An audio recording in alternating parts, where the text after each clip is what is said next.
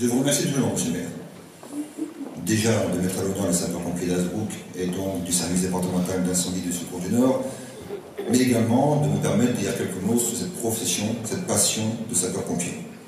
Je tiens à commencer bien sûr mes propos par une pensée empreinte de tristesse face à ce qui touche nos sapeurs-pompiers décédés en service. Hélas, depuis le début de l'année, en une semaine, nous avons eu trois décès de sapeurs-pompiers en France, notamment un sapeur-pompier qui était le caporal-chef Sandraz de la Savoie, qui en voulant sauver trois personnes qui étaient sur leur toit de véhicule suite à la montée des eaux est décédé, et également mes deux collègues, le caporal-chef, le caporal Cotteret de 32 ans et le sapin première classe Douchy de 20 ans, du camp départemental du Pas-de-Calais, plus précisément du centre de secours de Lillers, qui, lors d'un fait d'habitation, a hélas péri et perdu la vie en voulant sauver quatre personnes. Qu'on les appelle, vous savez, soldats du feu, sapeurs-pompiers, ces combattants, qu'ils soient militaires, civils, professionnels, ils sont au service de la population pour venir à votre aide. En effet, nous avons des pompiers qui sont militaires.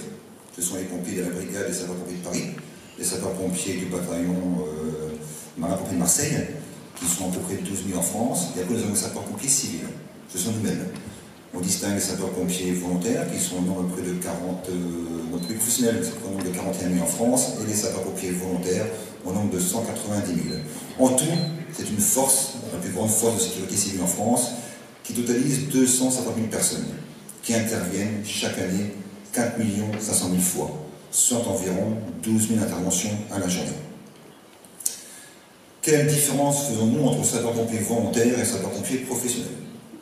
Sapeurs-pompiers volontaires sont des gens comme vous et moi, ce sont des sapeurs-pompiers professionnels, des agents qui travaillent pour les collectivités territoriales locales, des fonctionnaires, des agents de mairie donc, des bouchers, des professeurs, qui en plus de leur profession décident d'exercer une activité de sapeur-pompier volontaire afin de donner leur temps de repos pour venir secourir la population.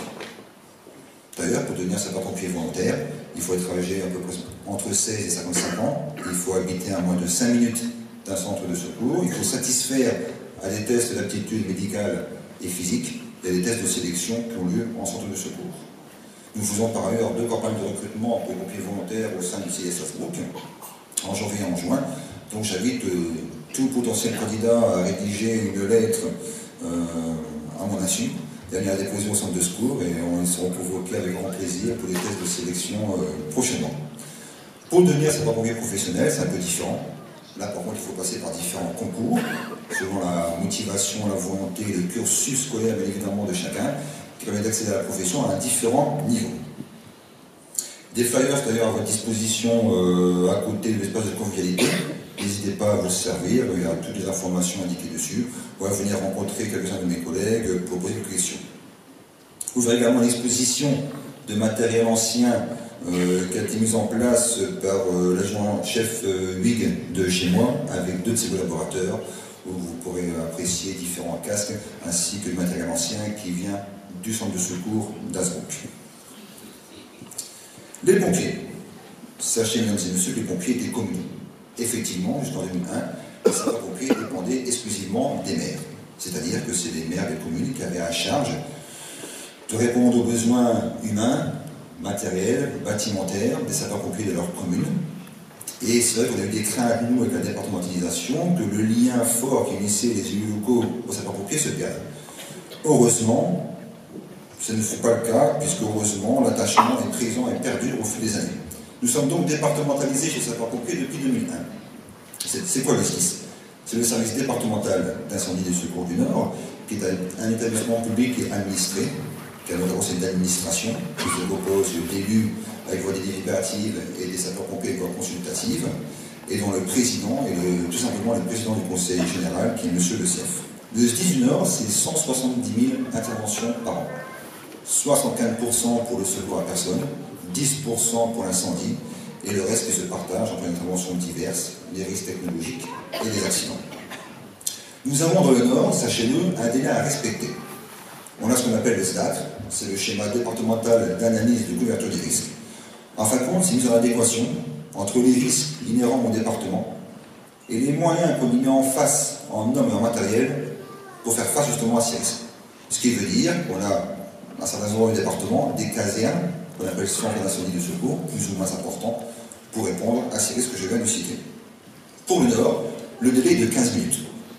C'est-à-dire qu'entre le moment où un citoyen il fait le 18, alors déjà quand on fait le 18, sachez-le, c'est plus comme avant, quand on fait le 18, on n'atterrit pas à la caserne de secours au plus proche de son domicile, quand on fait le 18, on atterrit à la F9 on sent le traitement des appels. Quand on fait le 18, si vous voulez, il y a déjà une minute qui est laissée au sapeur-pompier qui décroche pour prendre les informations. On va passer à le décrocher. Ensuite, il y a un laps de temps pour le sapeur-pompier se rend de son domicile ou de la caserne et part à l'intervention. Il est bien évident que pour les professionnels qui sont en casernement, ils ont deux minutes entre le moment où l'alerte est donnée et le moment où ils partent à l'intervention. Pour un pompier volontaire qui est chez lui, parce que le pompier volontaire se chez eux, un pompier qui dort la nuit, quand son sélectif il sonne, entre le moment où ce sélectif il sonne et le moment où l'engin quitte le centre de secours, on compte 6 minutes. Donc si on prend 6 minutes pour se rendre au CIS, plus 1 minute le temps de décrocher, il reste donc 8 minutes de sapeur-pompier maximum pour faire le trajet. Ainsi, on respecte le délai de 15 minutes imposé par le SDAC, qui est entre guillemets signé par le préfet également. Mais sachez, malgré tout, que dans 96% des cas, les sapeurs-pompiers du Nord aujourd'hui sont chez vous en 9 minutes 30. Après, si le délai est plus important, ça peut arriver, pour diverses raisons. Imaginez que les deux ambulances d'Asbrook sont déjà parties en intervention.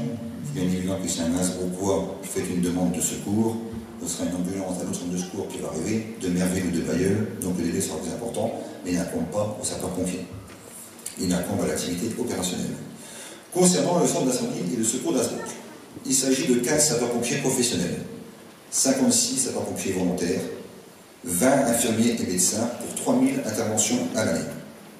La particularité sur Innsbruck, il y a peu de centres de secours qui se concernent le département, c'est qu'il y a des sapeurs-pompiers professionnels qui assurent la journée d'activité OP, de 7h du matin à 19h, et toutes les nuits, week-ends et jours fériés sont des sapeurs-pompiers volontaires, exclusivement volontaires, qui vont secourir les citoyens. Je tiens par d'ailleurs à rendre un hommage. Le commandant Francis Raoult nous a quittés il y a, peu de temps. Sachez que c'était l'ancien chef de corps d'Asbrook, c'était un homme passionné par des sapeurs-pompiers et qui a laissé une image vraiment marquante et qu'on n'oubliera pas. Donc je tenais à avoir une pensée pour le commandant Francis Raoult. On sent d'ailleurs que son fils, lieutenant, euh, lieutenant est ici présent. Je tiens également à remercier les partenaires qui mettent gratuitement à disposition des sapeurs-pompiers des lieux où on puisse s'entraîner. La mairie, bien évidemment, mais également le complexe Loisifland, Domenco, Dalkia, Décospan, Unibéton, La Fondée du Nord, Suez et Baudelaire. Je vous ai dit que nous avons également des infirmiers au centre de secours. Pourquoi avons-nous des infirmiers sur Asbrook Pour toutes les urgences vitales, il est nécessaire que les pompiers soient accompagnés des SMUR. Les SMUR se composent de quoi? D'un médecin, d'un infirmier, d'un ambulancier. Mais la Flandre est assez isolée. Les SMUR se trouvent où? Ils sont à Saint-Omer, Lille, Armentières, et le délai d'arrivée des SMUR est assez long, de par la distance entre Asbrook et les villes précitées. Donc, le SDIS du Nord a mis en place des infirmiers au d'Asbrook, ce qui permet d'avoir une réponse graduée, c'est-à-dire que les infirmiers vont intervenir sur l'intervention, et ils sont protocolés. Ça veut dire qu'ils peuvent administrer des traitements médicamenteux logiquement réservés aux médecins, aux patients, à la victime, dans l'attente d'ISMUR. Les personnes pensent que le médecin pompier, il se résume, vulgairement entre guillemets, sauver des gens et éteindre des feux. Ce n'est pas le cas. Il y a plein de métiers dans le métier sapeur-pompier. Je ne vais pas vous faire un cours théorique pendant une demi-heure sur le cas, mais juste vous résumer les quelques missions que nous avons. Nous avons une mission de prévention. La prévention, c'est quoi? C'est tout ce qui concerne les établissements recevant du public. Tout ce qui est salle de spectacle, théâtre, restaurants, centres commerciaux, hôtels, banques, administrations, centres hospitaliers, etc tous ces établissements-là qui reçoivent du public, pour la protection du public, il existe des commissions de sécurité où le préventionniste a l'obligation de vérifier que tout soit en norme. Et ça relève de la compétence en plus du maire de la commune. Car les ERP, c'est une police administrative spéciale de l'élu local. Par exemple, là, si vous êtes ici actuellement, oui, les sièges sur lesquels vous êtes assis, eh bien, répondent à des normes. Des normes de réaction au feu. Ils peuvent brûler d'une certaine manière. Ils ont le droit faire des bouts enflammés ils sont limités dans la capacité de la fumée qu'ils développeront. On ne peut pas, mettons, avoir une ligne de 40 sièges comme cela. C'est autant de sièges alignés, et après d'avoir un espace d'autant de largeur, l'allée centrale, entre deux gradins. Le gradin qui est ici présent devant moi, il avoir une stabilité à froid, qui doit être reconnu par un ingénieur par l'organisme agréé, et qui est validé par les sapeurs-pompiers. Donc, je féliciter également, enfin pas féliciter, mais plutôt à mettre en valeur Jean-Luc Arnoux, parce que Jean-Luc Arnoux, c'est l'adjoint à la mairie de la sécurité qui s'occupe des commissions de sécurité, et qui représente donc le maire, qui en prend la responsabilité. Et comme nous avons travaillé quelques années ensemble, ben, je voulais saluer le travail que M. Arnoux a pu rendre durant ces années à mes côtés. Nous avons également un travail à faire pour tout ce qui concerne la prévision. La prévision, c'est l'analyse, le recensement des risques de l'ensemble des entreprises d'Asbrook et des environs. Vous savez, une entreprise a des risques, que ce soit dans sa méthode de conception, euh, dans tout, ce qui est, réalisé. Nous devons évaluer les risques. On doit s'assurer que l'entreprise a mis un système de gestion de sécurité qui répond aux attentes de la etc., etc. Il faut étudier également la défense incendie et sa internationale les communes, recenser et contrôler les ressources hydrauliques, réaliser et mettre à jour des plans et données cartographiques. Les sapeurs-pompiers interviennent également aux côtés de, de M. le maire dans le cadre du plan communal de sauvegarde, qu'on appelle le PCS. vous savez également que l'élu local a également une obligation de responsabilité en cas d'événement majeur, qui est d'informer et de protéger la population. Donc c'est un plan de, sauvegarde n'est pas si long que en place. Donc les sapeurs-pompiers également côtés de l'élu local afin de protéger la population. Je n'oublie pas non plus les établissements scolaires pour lesquels nous participons au plan particulier de mise en sécurité. Par ailleurs, les cadets de la sécurité civile, dont je reviendrai dans quelques temps, ont un rôle à jouer. Enfin, nous avons le volet opérationnel que vous connaissez tous et qui est loin le plus important des volets, puisque c'est notre seule, notre raison d'être de secourir et d'aider nos citoyens. Et sur ce point, vous savez, ce ne sont pas les sapeurs-pompiers qui font être honneur, mais tout un chacun qui fait acte de civisme et d'aide à autrui. Prenons l'exemple d'une personne qui s'étouffe. Une personne qui s'étouffe, on n'est pas à la piscine, on prend un point d'inspiration, on arrête de respirer. Une personne qui s'étouffe, d'un seul coup, elle ne respire plus. J'ai vous dit tout à l'heure que les sapeurs-pompiers, ils mettent dans 96% des cas 9 minutes 30 à arriver chez nous. Pensez-vous qu'une personne qui s'étouffe va rester comme ça 9 minutes 30 sans respirer à attendre les sapeurs-pompiers? Elle sera décédée. Donc qui va sauver la personne? Qui va sauver le citoyen? Ce ne sont pas les sapeurs-pompiers, c'est vous-même. C'est vous qui sauvez les gens. Idem pour un cardiaque. Qui fait cardiaque, si on n'a pas un citoyen avec des valeurs formées, qui va vers autrui, qui va vers son, son prochain pour porter secours, pour prendre un défibrillateur qui ne sont pas installés dans tous les lieux publics pour donner les premiers soins, euh, le travail des sapeurs-pompiers, il sera hélas vain. Donc les sapeurs-pompiers, lui, sont un maillon essentiel de la chaîne de secours, tout comme le SAMU, tout comme le DF, NJ, anciennement GDF, tout comme les associations civiles de sécurité civile. Et avant tout, vous, chers citoyens, vous êtes le premier et l'indispensable maillon dans la chaîne des secours. Donc c'est vous qu'il faut mettre à l'honneur, je pense également aujourd'hui. Oui, nous avons en France un retard dans la formation des gestes qui sauvent, des gestes de premier secours. Oui, nous avons tous été bousculés par les attentats qu'ont touché les États-Unis en 2001, mais l'État se force à ce que chaque citoyen soit acteur de la sécurité civile, et c'est pour cela que l'État souhaite à ce que rapidement, ou tout du moins le plus tôt possible, 80% des citoyens soient formés au secourisme. Cela s'est traduit sur Hasbrook depuis 2017 de diverses manières.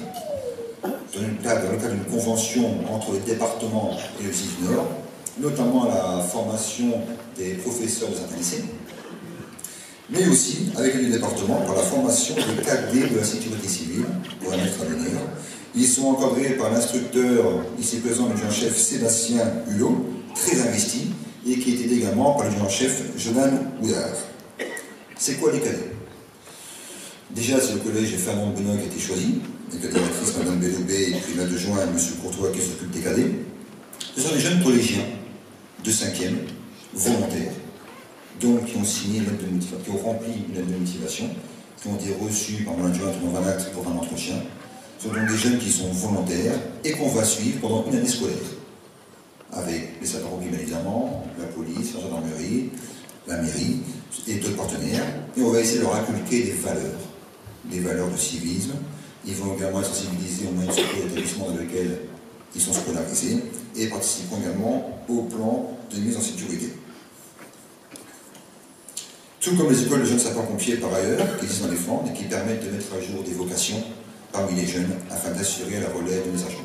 Vous avez le risque qu'il évolue, ce qui nous oblige à une éternelle adaptation en formation, en matériel, en mesures de sécurité. Mais sauver des vies ne relèvera pas uniquement de l'intervention de sapeurs comme je l'ai dit, mais de tous. Seule la volonté d'aider son prochain, le civisme, l'acte de citoyenneté feront notre force. N'oublions pas qu'aucune joie n'égale celle de servir autrui. Je vous souhaite une excellente année 2018, surtout faite de bonheur et de légèreté, qu'aujourd'hui c'est plus que nécessaire, et merci de votre attention.